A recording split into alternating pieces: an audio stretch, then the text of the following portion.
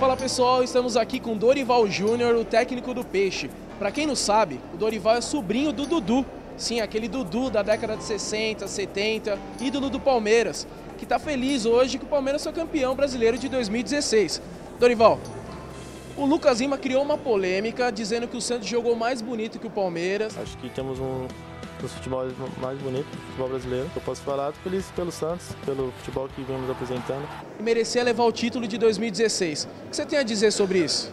Olha, eu acho que o, o, o Palmeiras é, tem um estilo de jogo com uma competência muito grande, uma objetividade e diferencia um pouco da maneira do Santos jogar.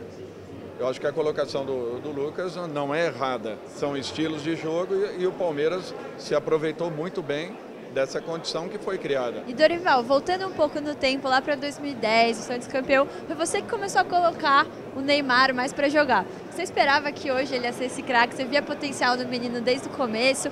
Como que é ver ele assim estourando no Barcelona? Olha, eu acho que quem acompanhou a história do Neymar sabe o preparo que ele teve. Desde garoto ele já despontava como aquele que seria um dos grandes jogadores de futebol mundial. Muito obrigada, muita sorte para ele. Muito obrigado, um grande abraço. Mas a pergunta que não quer calar, Dorival. Schweinsteiger do Santos em 2017? Olha só, meu objetivo quando eu coloquei presente é o seguinte: presente, está na hora do Santos ter um jogador com apelo mundial. Ele falou, como? É, eu falei, um, um exemplo, o Schweinsteiger está parado no Manchester, não está sendo aproveitado, de repente poderia ser uma opção. Aham, uhum, Cláudia, senta lá. Como o nome do Schweinsteiger, eu dei outros nomes para ele. É, vocês viram que só de levantarmos uma possibilidade, a movimentação que existiu, já não foi bom isso? Melhor ainda seria se tivéssemos um jogador desse nível.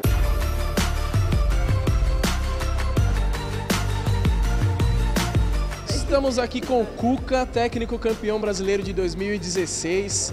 Cuca, vou te fazer uma pergunta, não sei se já fizeram. Aquela aquela bola do Zé Roberto que ele defendeu lá na Fonte Nova contra o Cruzeiro, ali foi o gol do campeonato? Ah, na Fonte Nova? Nossa. Não, não, não na Fonte Luminosa. Ah, na... Ai, que burro, dá zero pra ele. Foi o gol do campeonato?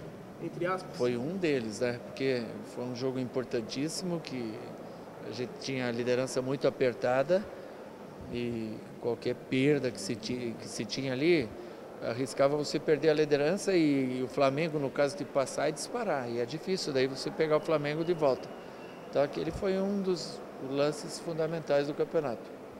Cuca, bastante gente pergunta e quer saber, hoje você está com calça jeans, e a calça vinho? Da onde surgiu a calça vinho ser da, da sorte? E qual vai ser a, a calça vinho do ano que vem? É, mas que vocês que falam, ah, aquela camisa combinaria com a minha calça vinho.